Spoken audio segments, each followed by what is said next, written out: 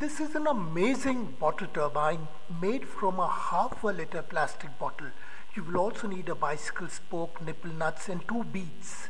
Now mark five petals on the bottle near the lid and then cut all these five petals with a small scissors.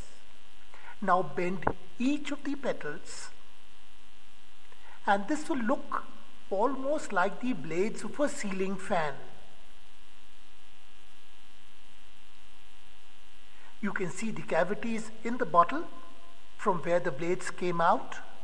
Now twist every petal to make a blade and put some colorful tape on the tips of these five blades. Make a hole in the base of the bottle and one in the center of the lid.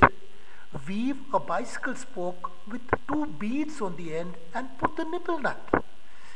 Now the bottle should be free to rotate on the cycle spoke and when you place it under a ceiling fan it spins, spins really fast like a super spinning bottle. You can also keep it on the table and still it spins very fast under a ceiling fan because the bottle is quite symmetric. You can upturn the bottle and the blades will spin the other way too.